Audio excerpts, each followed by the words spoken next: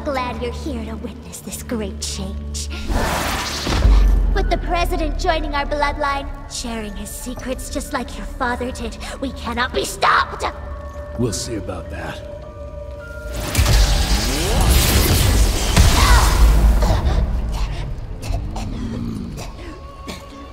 I tried to make you understand. In order to build something, you need to demolish its past. Your stupid ambition took everything from me. You turned my father against me and everything he stood for. That was a fate worse than death. I'm here to make sure you won't do the same to anyone else.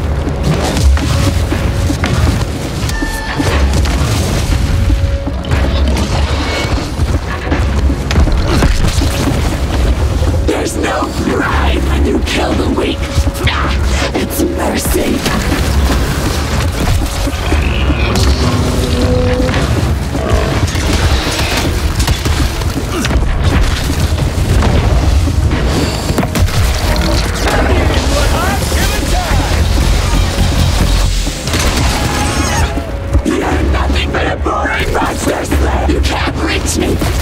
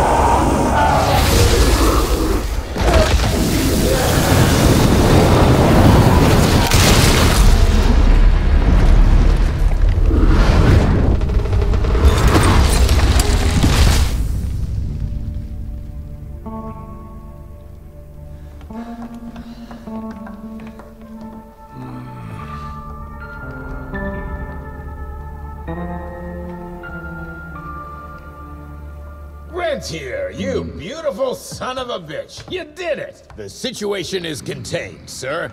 The Institute's resources were finally put to good use. It was just a matter of proper management. We couldn't allow for it to be led like a small-town family business. Or even worse, to be run by a woman.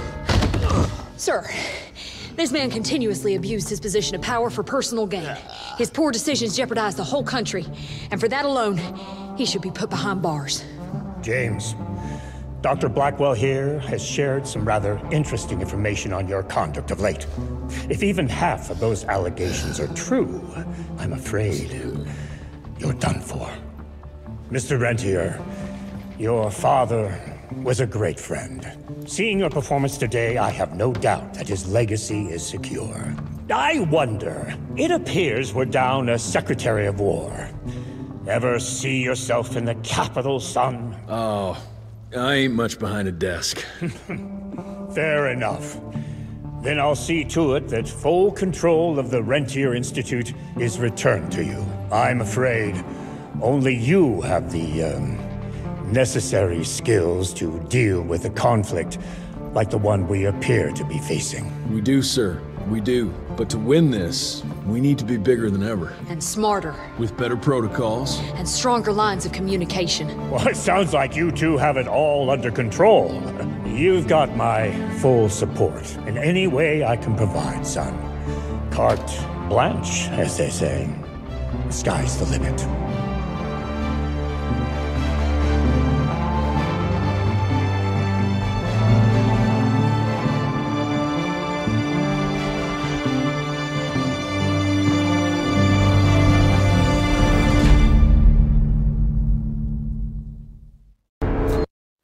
Such a wonderful place, what a shame we can't stay. This exhausting chase is now over. Such a beautiful world, but it drives us all mad. The memories are gone, but at least we're not